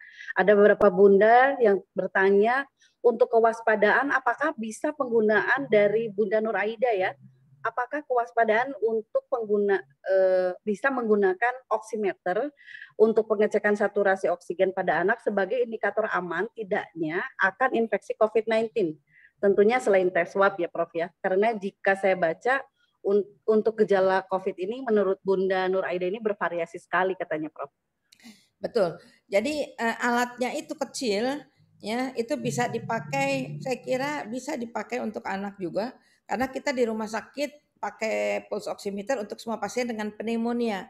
Di pneumonia itu kita uh, terjadi juga gangguan aliran oksigen tadi ya karena rusak sebagiannya seperti juga pada COVID. Jadi kalau mau pakai boleh saja pada anak-anak misalnya anak uh, eh, OTG ya, uh, COVID-nya positif tapi dia apa namanya dia uh, tidak mengalami gejala. Bisa aja sih diperiksa saturasinya. Saturasinya itu harus di atas 92 persen. Ya. Jadi kalau, anak kadang-kadang kan dia bilang apa sesek dia kan nggak tahu bahwa dia sesek ya. ya jadi anak-anak itu uh, boleh saja diperiksa saturasinya. Malahan dianjurkan kalau untuk anak-anak yang OTG ya, yang positif, misalnya orang tuanya positif sakit diperiksa semua ternyata anaknya kena. Nah, mereka sama-sama tiap uh, sehari sekali uh, diperiksa itunya. Apa namanya? Uh, saturasi oksigennya. Ini alatnya ya lumayan lah 300 ribuan gitu harganya ya. Bisa dibeli di Alkes ya Prof ya, tentunya ya, di toko-toko alat kesehatan. Jadi saya ada Alkes enggak? Biar saya akan diadakan Prof mungkin ke depannya kalau kalau dibutuhkan. Udah Iya, mempermudah karena mungkin uh, ayah bunda sangat takut sekali Prof kalau sekarang dibawa ke rumah sakit, apalagi memang rumah sakit kondisinya sudah full kuotanya ya, gitu Prof. Nah ini Prof untuk uh, pertanyaan selanjutnya itu vaksin apa yang bisa mendekati pencegahan COVID-19 sambil nunggu vaksinnya datang anak-anaknya divaksin apa dulu gitu Prof biar regreg bahasa Jermannya mah Prof. Ya jadi kalau vaksin COVID kan belum ada.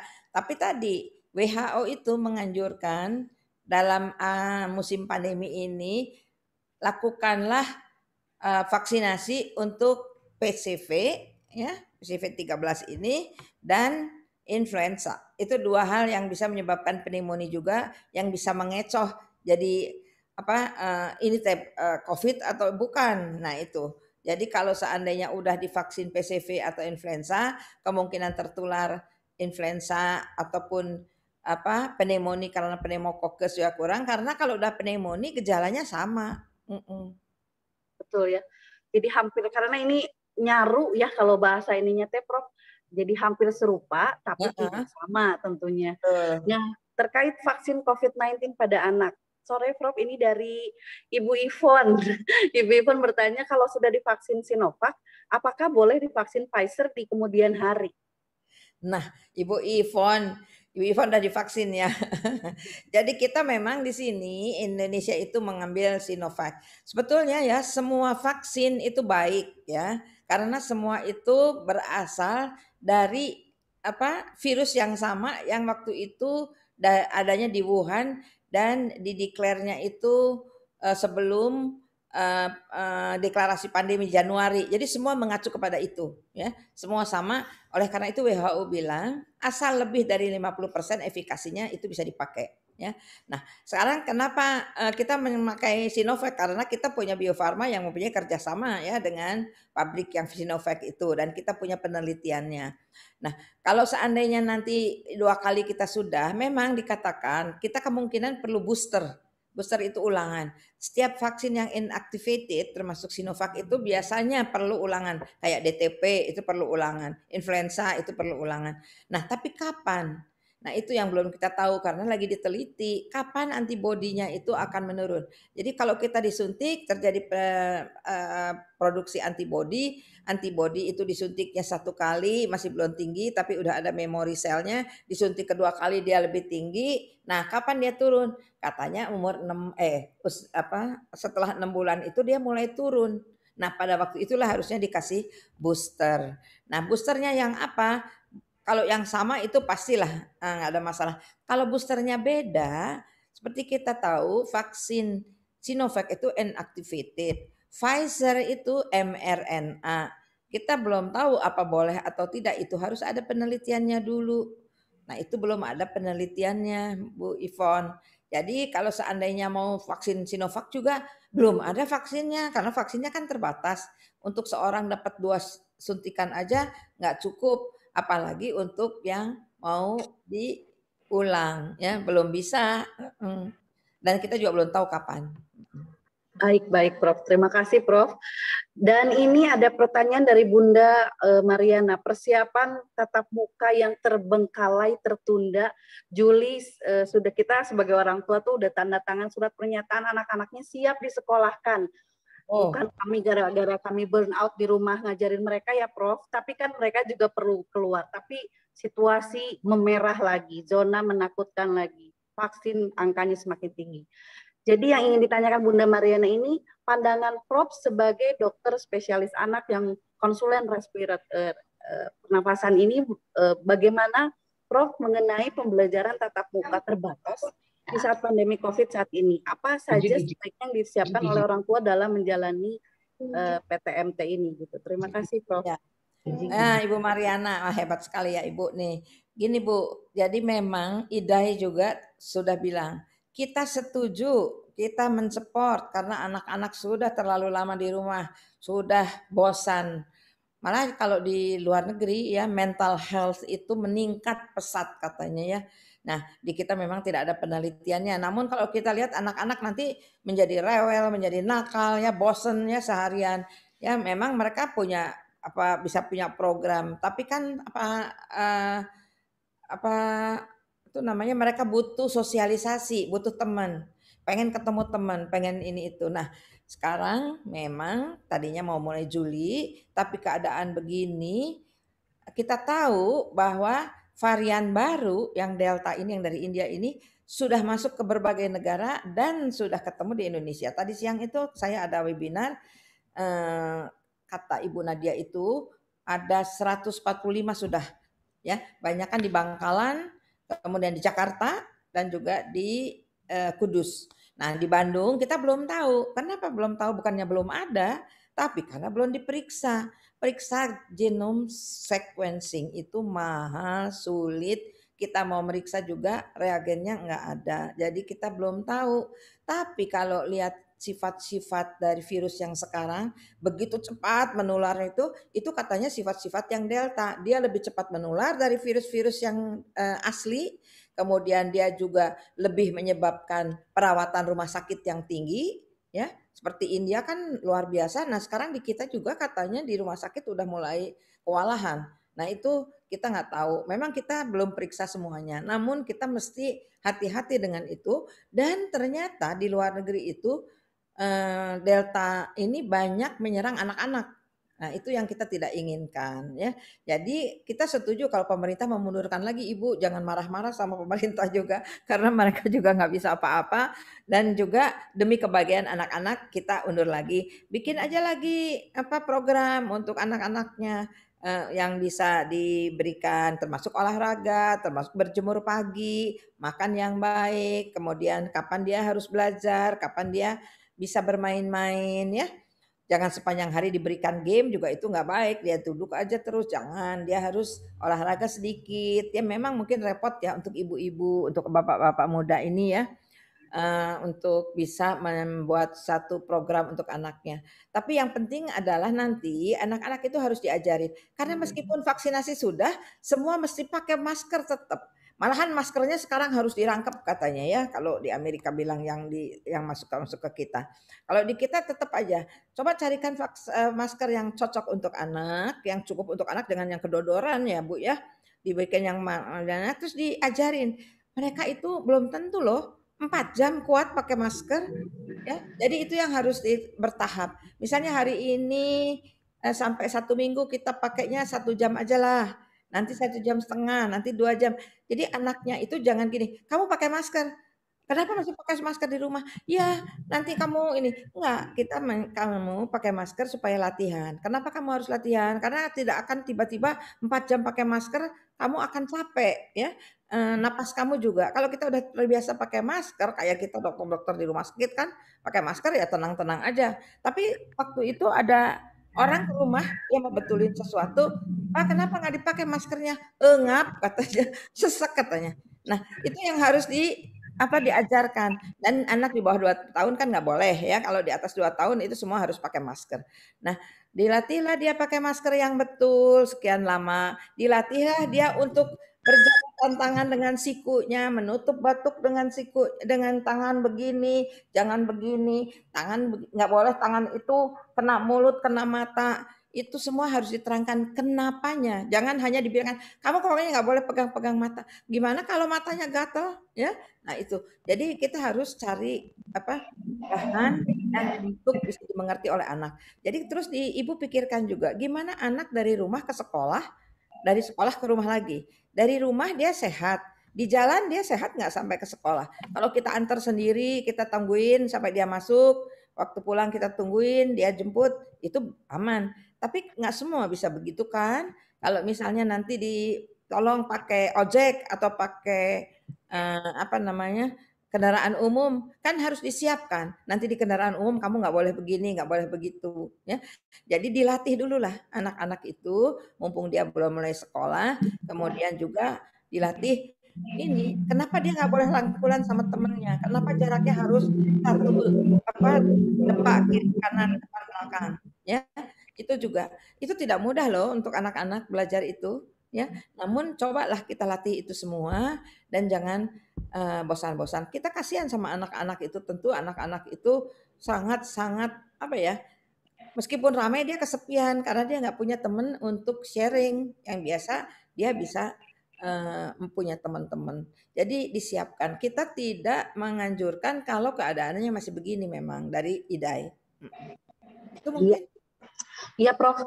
Ini ada Lesnat list ada yang ketinggalan nih dari Bunda Ami Fatia Modern Mom ini temennya Teh Nadine. Pertanyaan Prof, kalau lokasi penyuntikan vaksin BCG di paha masih tetap optimal dilakukan tidak?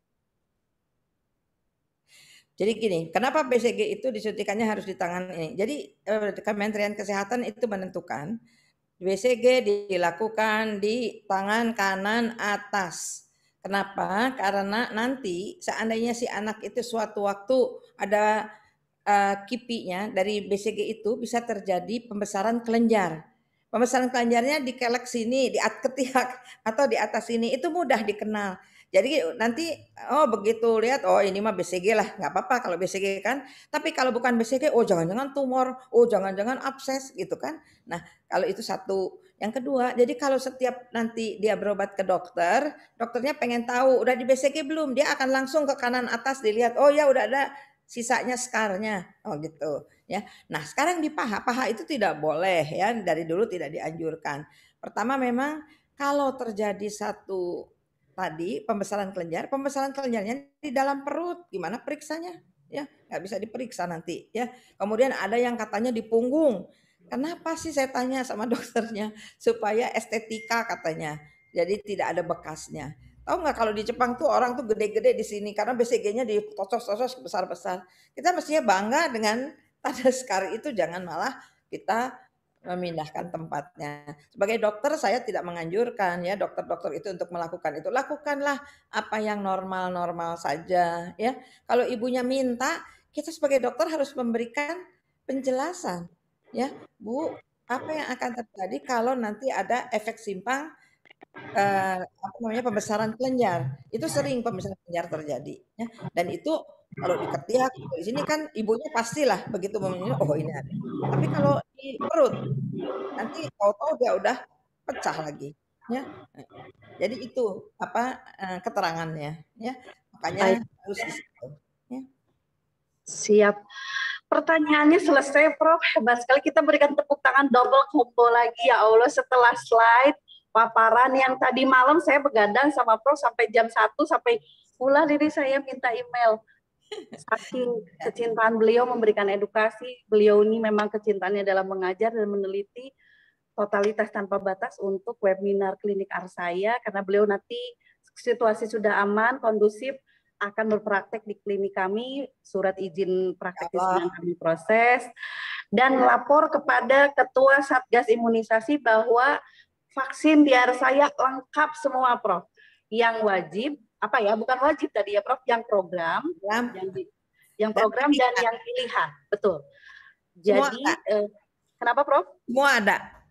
ada Prof lapor kepada ketua satgas dari klinik Arsaya mewakili teman-teman di pelayanan eh, teman-teman apoteker dan eh, perawat semua bahwa klinik Arsaya sudah lengkap dengan eh, beberapa jenis vaksin dan yang tadi Prof sampaikan bahwa ada vaksin yang program dan yang pilihan. Untuk yang catch up itu juga bisa dilakukan. Silakan melakukan janji temu dengan eh, klinik Arsaya bisa melalui reservasi melalui website kami. Tentunya ini sangat luar biasa sekali Prof ini ya. Saya sampai stunning gitu ya, speechless ya Teh Nadine. Mangga Teh Nadine kalau mau say hi juga ini Teh Nadine itu komunitas parenting Prof. Jadi komunitas ibu-ibu yang berkumpul tapi bermanfaat tidak gibah-gibah ria ya Teh Nadine. Allah. Jadi edukasi. Teh Nadine. Heeh. terima kasih dok. Ya Allah, keren apa? Alhamdulillah terima kasih banyak dok udah memberikan ilmu yang luar biasa nih hari ini benar-benar ilmu uh, buat aku pribadi, buat teman-teman juga, apalagi soal pneumonia kan ya. Di saat kondisi COVID yang sekarang benar-benar kayak lagi dikepung gitu kan, kita tuh ada ketakutan tersendiri gitu sekarang buat keluar rumah pun. Terima kasih juga Mbak Wulan, Klinik Arsaya, terhormat sekali Moderna selalu dikasih kesempatan diundang setiap seminar-seminarnya. Terima kasih banyak, Mbak Wulan. Ya, eh, sebelum kita berfoto bersama, ada eh, ini kita didukung oleh salah satu eh, produk kenamaan PT Pfizer sudah pasti dikenal sekali ya. Dan saya ucapkan terima kasih ada Dokter Mirna juga bergabung. Dok Oma, selamat ulang tahun. Late congrats sama Oma. Kemarin Oma ulang tahun. Oh ya. Dan ada Dokter Regi, Dokter Harsono, Dokter Yulia. Terima kasih para owner juga berkumpul dan yang apresiasi terbesar kepada teman-teman karyawan klinik Arsaya yang hari Minggu mestinya istirahat masih tetap bertemu Zoom bersama eh, Prof dan Ayah Bunda dan yang lainnya di eh, webinar kali ini. Prof, saya ucapkan terima kasih banyak. Semoga Allah selalu menjaga dan memberikan kesehatan untuk Prof sekeluarga. Kasihan Prof teh nggak bisa ketemu cucu. Biasanya Prof teh suka lari-lari, suka kabur ke luar negeri kalau nggak pandemi, nengok cucu kesayangan. Apalagi cucu saya ulang tahun lagi hari ini. Aduh. Prof. Selamat ulang tahun. si Ezra ulang tahun. Iya, biasanya Prof Biasanya kita kabur ya Prof ya. ya. Eh, Kita ya boleh dibuka mikrofonnya. Ini mungkin ada tiga darah nih, tiga darah. Jadi Prof Sisi, Dokter Regi Panggabean, Dokter Mirna yang semuanya konsulen ini eh, gadis-gadis Kak cantik Oma. itu kayaknya kayaknya ini prima donna Esta Unpad deh. Angkatan berapa Prof waktu itu Prof? 65. Oh 65. Mungkin wow. Eh, mom sama dad itu seumur dengan anak-anak kita ya. Tapi tetap semangatnya luar biasa. Saya mah kalah sehat apalagi sama Dokter Regi yang aktivitasnya masih Iya. luar biasa sekali ya. Boleh dibuka saja eh, mikrofonnya eh, biar kita bisa bersama sebelum berfoto dan ada video juga ada si boneka menawan. Oh ya, Prof, kita akan memberikan apresiasi untuk eh, ayah bunda mom and dad yang sudah bertanya. Ada meja belajar portable dan Oh. juga buat buat anaknya meja portable yang bisa dilipat karena buat belajar daring di rumah ya, Prof Oh ya, bagus. ada pedicure set buat momnya. Jadi ini hadiah yang momnya bahagia, mom happy, kids happy jadinya gitu, Prof. Dikasih giveaway ya, dikasih hadiah. Jadi, Dokter juga happy dah anaknya sehat. Iya pasti. Jadi nggak banyak ya, Prof ya. gitu.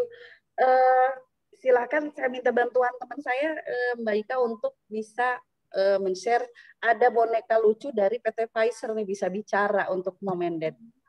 Oh, Ya, video dari PT Pfizer sebelum kita berfoto bersama.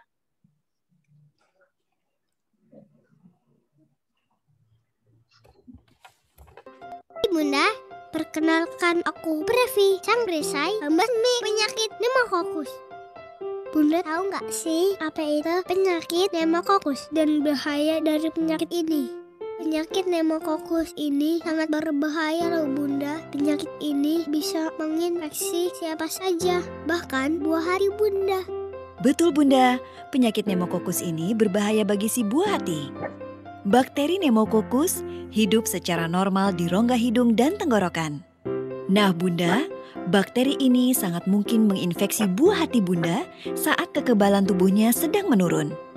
Yuk bunda, kita mengenal lebih dekat penyakit pneumokokus ini. Bakteri pneumokokus mudah menular melalui udara saat berbicara, batuk, ataupun bersin. Bunda juga harus tahu nih, beberapa jenis bakteri pneumokokus ada yang kebal terhadap antibiotik. Bunda tahu nggak sih, kalau infeksi bakteri pneumokokus itu bisa menyebabkan berbagai macam penyakit. Infeksi bakteri pneumokokus dapat menyebabkan berbagai penyakit bagi buah hati kita loh bunda, seperti bakterimia atau infeksi bakteri dalam darah, lalu ada sepsis yang bisa mengakibatkan kegagalan fungsi organ tubuh, meningitis atau radang selaput otak, hingga pneumonia atau radang paru. Bunda, menurut WHO atau Badan Kesehatan Dunia, Penyakit pneumokokus itu menjadi penyebab kematian tertinggi pada anak di bawah 5 tahun yang sebetulnya dapat dicegah oleh vaksinasi. Seperti yang sudah disebutkan tadi, radang paru atau pneumonia adalah salah satu penyakit yang disebabkan oleh bakteri pneumokokus. Nah, radang paru adalah penyebab kematian tertinggi pada bayi dan anak balita di dunia. Di Indonesia sendiri, pneumonia atau radang paru menjadi salah satu penyebab kematian terbesar pada bayi dan balita. Setiap jamnya, 2 sampai dengan 3 balita dengan pneumonia atau radang paru tidak tertolong nyawanya. Sepintas gejala pneumonia atau radang paru terlihat seperti batuk dan demam biasa. Bayi dan anak mengalami demam batuk, nafas cepat, dan kadang disertai sesak. Biasanya anak menjadi kurang nafsu makan dan lebih rewel. Perlu diingat Bunda, selain pneumonia atau radang paru, ada juga tipe infeksi yang disebabkan bakteri pneumococcus, seperti radang selaput otak atau meningitis, radang telinga tengah atau otitis media, infeksi bakteri dalam darah atau bakteremia, hingga kelanjutan infeksi dalam darah atau sepsis. Nah, kalau ini dibiarkan, dapat menyebabkan kelumpuhan, kehilangan pendengaran, hingga retardasi mental. Bahaya kan Bunda? Yuk Bunda, mulai dari sekarang kita cari tahu tentang pencegahan penyakit pneumokokus supaya anak kita terhindar dari bahaya penyakit pneumokokus ini. Salah satunya dengan imunisasi PCV atau vaksin pneumokokus yang sudah tersedia saat ini. Imunisasi PCV lengkap diberikan secara berkala pada bayi di usia 2, 4, 6, dan 12 sampai 15 bulan. Lindungi anak sejak dini dari penyakit pneumokokus. Konsultasikan dengan dokter anak bunda untuk melakukan imunisasi PCV. Imunisasi PCV juga sudah direkomendasikan oleh Ikatan Dokter Anak Indonesia loh bunda. Jadi, ingat perisai pneumokokus ya bunda. Periksa jadwal imunisasi PCV anak Anda. Sadari bahaya pneumokokus. Imunisasi PCV mulai dari usia 2 bulan. Informasi kesehatan mengenai pencegahan penyakit pneumokokus ini dipersembahkan oleh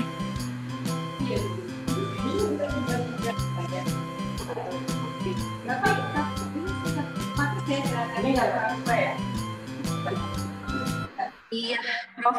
Itu hitung-hitung summary dari materi yang banyak sekali vaksinnya tadi dibahasnya. Saya mah orang Sunda asli, Supi, Prof. Jadi bilang PCPT dah atau antara V dengan P itu kan susah kalau saya Maya. Saya Indo Blasteran asli Sunda mah begini, Prof. Jadi vaksinasi aja masih belibet, apalagi bilang tadi PCP, PPC gitu ya. Kalau PPC mah paralon kan ya, Prof. Baik, Prof.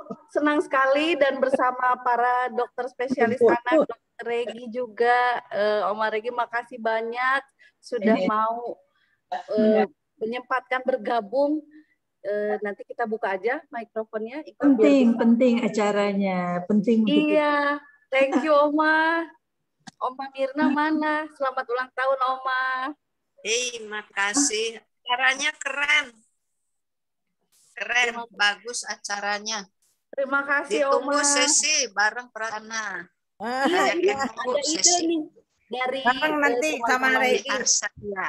Betul, tiga darah tidak main film dan bernyanyi, tapi memberikan edukasi kesehatan. Dunianya berbeda-beda ternyata. Ada yang ke resti, ada yang ke neuro, ke saraf, dan ada yang ke alergi. Wah ini Oh, no. Ah, cocok lah. biasa. Cocok pasti Prof, cocok banget ini Prof. Saya yang bahagia Prof, ini mah karena bisa membahagiakan para ayah bunda dengan beberapa webinar yang diberikan oleh para guru besar tentunya yang concern sekali terhadap edukasi kesehatan dan perkembangan kesehatan pada anak di Kota Bandung dan Indonesia kalau Prof mungkin ya gitu. Terima kasih Klinik Arsaya mengucapkan banyak-banyak terima kasih. Kita banyak-banyak berdoa. Yang sehat tetap harus sehat. Yang sakit di rumah dan isolasi mandiri semoga segera melewati eh, badai cobaan ini. Semoga Allah segera mengangkat wabah ini segera dari negara kita dan di dunia. Semoga ayah dan bunda yang tetap sehat tetap bisa menjaga anak-anak di rumah tetap aman, sehat dan tentu tentu saja tetap bahagia ya, Prof ya. Ya, Gitu. amin, amin. Akhir kata dari saya mengucapkan mohon maaf jika ada kalimat yang tidak berkenan, mohon maaf jika masih ada keterbatasan dari sajian virtual edukasi webinar kali ini. Saya ucapkan terima kasih kepada teman-teman klinik Arsaya, kepada owner Arsaya, dan tentunya special thanks untuk para dokter yang berpraktek di klinik Arsaya. Dokter Harsono, ini eh, apa yang paling ganteng dokter yang udah ada ya? Aduh, udah dua ya? Udah ada dua store, ada dua dokter cowok. Nanti saya dibantuin lagi sama Prof cari junior yang mau praktek di sini, Prof yang cowok nambahin, nemenin dokter Harsono dan dokter Triasta. Hmm. Baik, kita buka kameranya. Saya izin dong, saya pengen lihat wajah-wajah sore hari. Mom and dad, ayah, bunda, akang eteh. Kalau kata Bu Atalia, saya meni minder, insecure dengar suara Bu Atalia yang begitu lemah lembut. Jauh banget sama saya ini timbrenya. Jadi akang eteh katanya ya, ayah, bunda, eh, mom and dad, silakan dibuka. Kita berfoto bersama meninggalkan kenang-kenangan meskipun kita tidak bertatap muka, tidak ada eh, apa jabat tangan erat seperti dulu, tapi kita melalui media virtual ini tentu saja tetap tidak melewatkan sesi berfoto eh, bersama ya. Baik, saya minta bantuannya kepada teman saya untuk bisa mengcapture momen ini. Momen ini dipersembahkan oleh PT Pfizer, Modern Mom, dan tentu saja Klinik Arsaya. Happy Healthy Kids. Ya mau mana putra-putranya diajak foto. Oh, dede Lihat dede satu. Mana putrinya, putranya saya juga mau lihat. Sehat-sehat kelihatannya kok ini. Wah, Pak Lukman, iya. Ya Bunda. Ah ini siapa nih Pak Lukman di belakangnya? Oh ini mah gak. putranya juga. Oh, nah ini Bu Rani, putranya juga. Ini kok di di, di unmute boleh nggak? Oh, ih, nih ibunya lucu ya. Heeh. Ya, aduh. Tuh. Aduh kasihan. Nah, ibu kita juga semoga gendut banget ini mah. Eh, overweight Tapi sehat pasti nih. Prof, semoga Alhamdulillah. ya Prof. Mudah-mudahan cepat bertemu cucu, pandemi sirna dari dunia ini. Bisa Iya. cucu. Ibu Nia itu siapa yang namanya itu Lenot-lenot bagus ah ya. Siap, sudah ready semua? Everyone on set? Kamera and roll action. Ih, Ibu Ami kenapa lari tuh putrinya? Iya. Yang kedua, foto pose kedua ada kita mohon bantuannya ini A tuh logo harus saya, Prof. Jadi kita gini, bagus segitiga A. Nggak bisa. Kenapa Uma nggak bisa? Saya ini Udah paling kesel aja kalau sama A begini. Saya. Kak Lukman, thank you loh. Terima kasih. Terima kasih semuanya. Ria, terima kasih ya Mbak Mirna udah nemenin. Bagus, sis. Bermanfaat. akhir. Kasih. Nanti Dokter Egi, kalau terima kasih. Dokter Harsono, thank you loh dok. ya Iya nih teman-teman mudanya di sana, dokter-dokter muda, terima kasih. Iya, Prof. Tapi tetap jaga 3M, 5M, 6M, 6M. sekarang 10M katanya. Supaya jadi sekarang ya dokter-dokternya ya. Prof, semuanya semoga selalu sehat. Prof jangan kapok nanti bantuin Wulan lagi. Semoga bisa eh, segera selesai pandemi praktek dan bisa membantu keluhan segala keluhan tentang pernapasan pada anak karena jaminannya kalau Prof ya guru besar konsulen ahli pernafasan.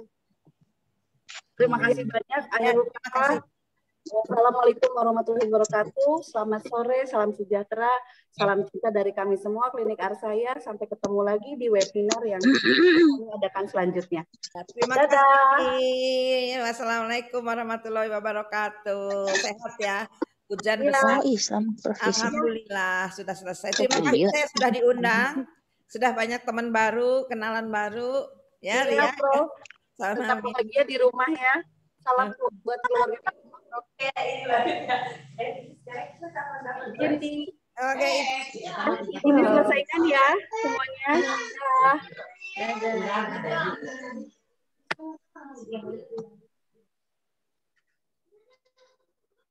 Pak Lukman Oma. Hai Oma. Masih aku Pamit ya. dari Bu. Berkat, berkat Gimana Pak Lukman? MC-nya kondang luar biasa. Ah, Ih, Ini kamera- bagus sekali acaranya, Terima kasih. luar biasa ya.